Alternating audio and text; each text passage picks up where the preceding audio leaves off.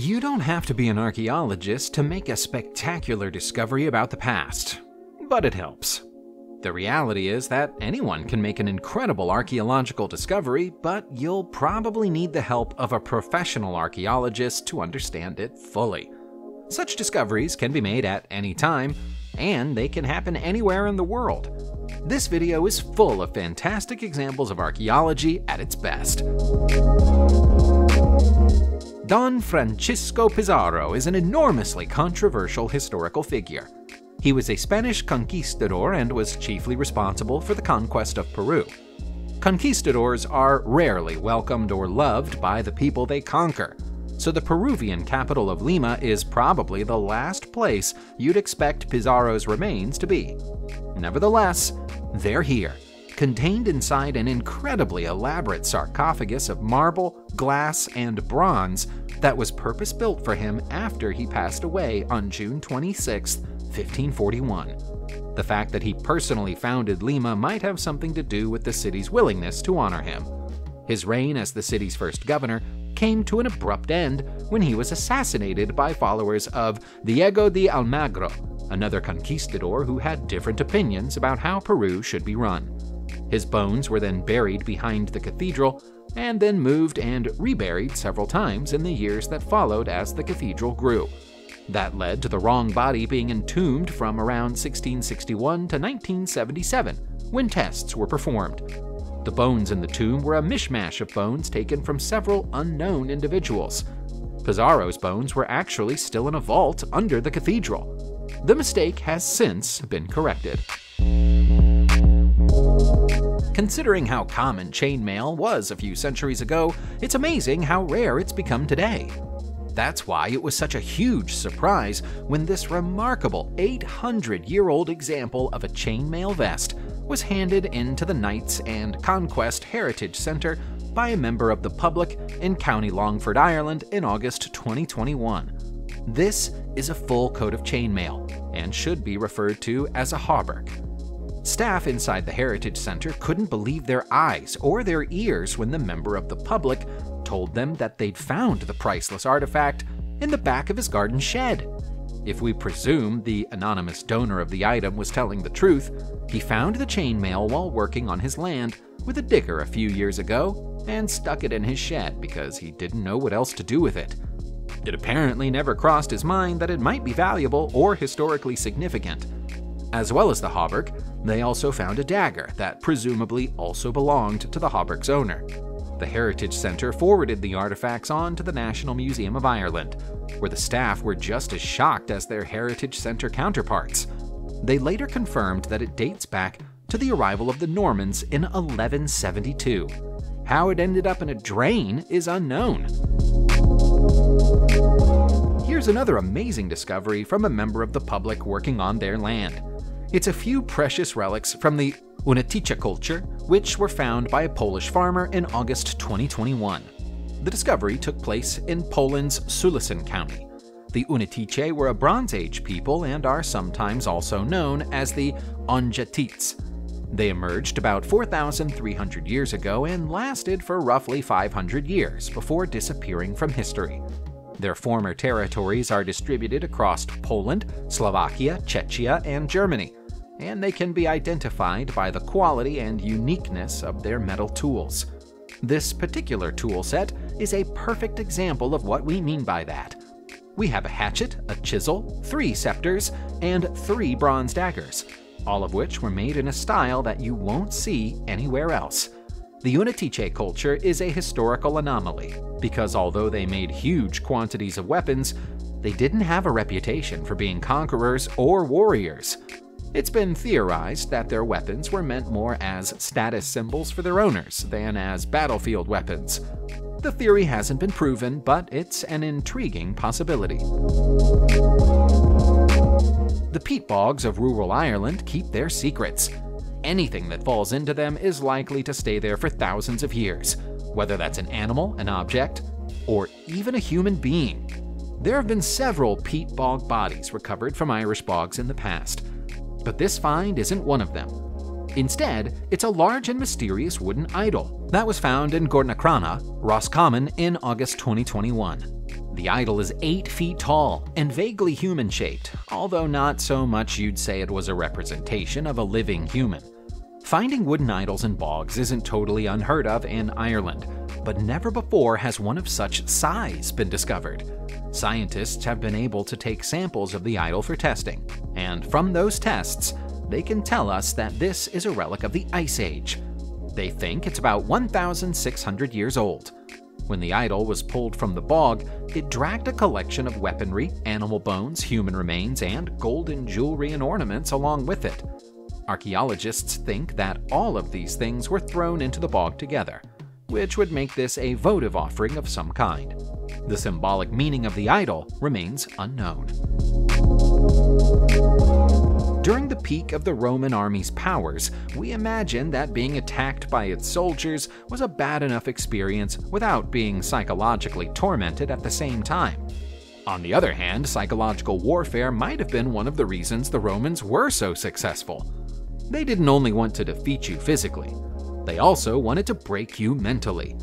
To do so, they used unconventional weapons like this. They're whistling sling stones, designed to make noise as they sped through the air towards you some 1,800 years ago. The most recently discovered set of whistling stones was found in Lockerbie, Scotland, in August 2021. The tiny holes drilled in each of the stones served a dual purpose. They would firstly make injuries worse because of their compressive effect on impact, and they also made a dreadful noise as thousands of them whistled through the air at the same time. The noise is said to have terrified the native Scottish tribes when they faced the Romans on the battlefield. It's known that there was an enormous battle between the Scots and the Romans on nearby Burnswark Hill during the 2nd century. These stones are almost certainly a leftover from that battle. When this rare Lang-Sax fighting blade was found in Poland's Wdecki Landscape Park in August 2021, Archaeologists were sure it was ancient. What they were less sure of was whether or not the blade had Viking origins, and the debate over that question is still going on. Although historians refer to blades like these as swords, it would probably be more accurate to refer to them as long knives. Although the people who found it are archaeologists, they weren't looking for it when they made the discovery. Instead, they were trying to pinpoint the location of a battlefield from the Polish Pomeranian War of 1091.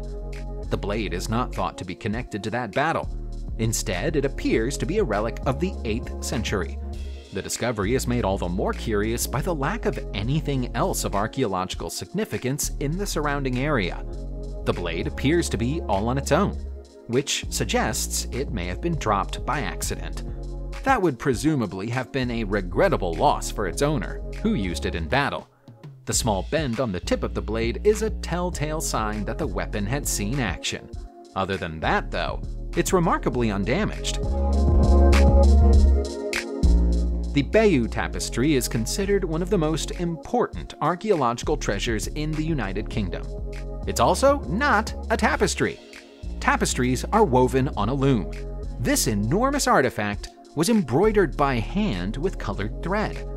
Nevertheless, it's the most complete first hand record the country has of the pivotal Battle of Hastings in 1066.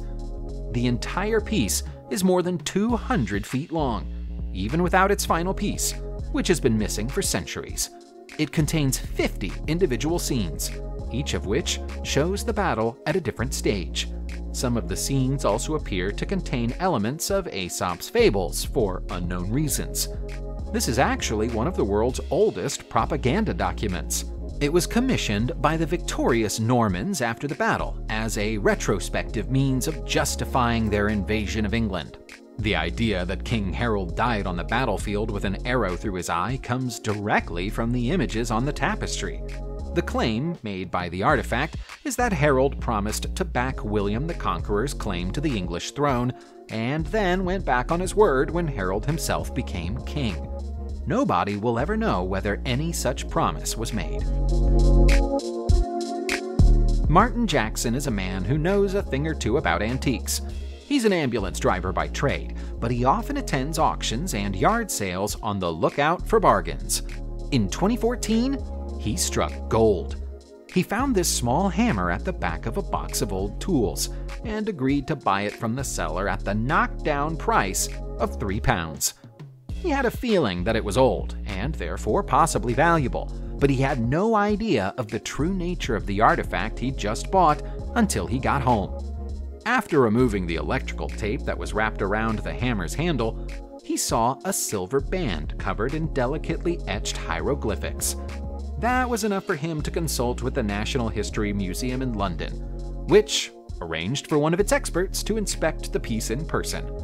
That's when Martin found out that this is a 4,500 year old ancient Egyptian wooden maul of the kind that was used to build temples and tombs.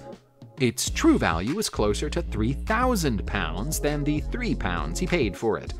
That has to count as the yard sale find of a lifetime.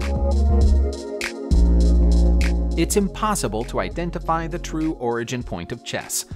That's because the board game evolved from several older games, and it's impossible to say when those older games stopped being what they used to be and started to be chess. That being said, there's a very strong chance that this two horned sandstone rook is the oldest chess piece in the world. It was found by Canadian archaeologist John Olson amid the ruins of an early Islamic settlement in Jordan in 1991. Olson believes that the ruins belong to an ancient trading post that was destroyed during the 7th century. The rook pieces you get with modern chess sets look like castles, but early chess sets almost always represented them as rectangles with horns on the top. They were patterned after horse drawn chariots. Even the word rook is derived from the Persian rook, which means chariot.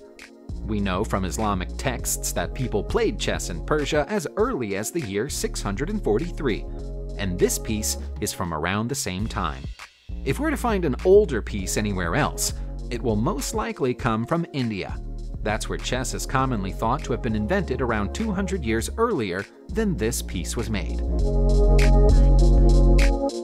In some ways, the human race has changed a lot in the past 2,000 years. In other ways, it's barely changed at all. The way we care for our infants is largely unchanged. If you're going to feed a baby, you'll need a baby bottle to do it with. Here's an ancient Roman baby bottle from 2,000 years ago.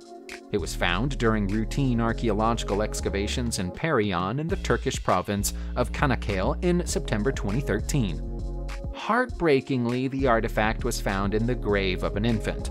While the vessel served the same purpose as a modern baby feeding bottle, it would have been considerably less comfortable in a baby's mouth. For a start, it's made from oven dried earthenware. Based on their size, their light weight, and the size and shape of the attachment on their sides, historians think that the feeding bottles might also have functioned as pacifiers.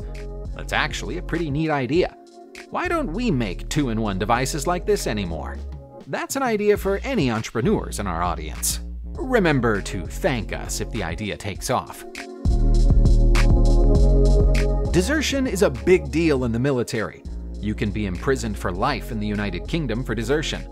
In the United States of America, you can still technically be executed for it, although nobody's actually been executed since Eddie Slovik in 1945 execution is actually a more severe penalty than you'd have endured if you tried to run away from your duties in the English Civil War during the 17th century.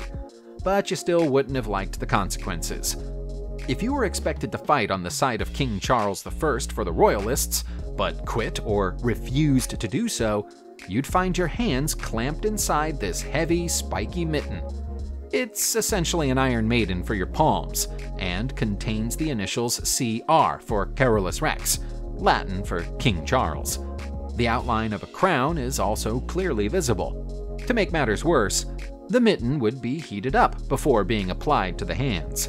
Branding deserters like this was outlawed in 1829, although it was still permissible to brand them through tattooing until 1879. Still, being branded is better than being killed.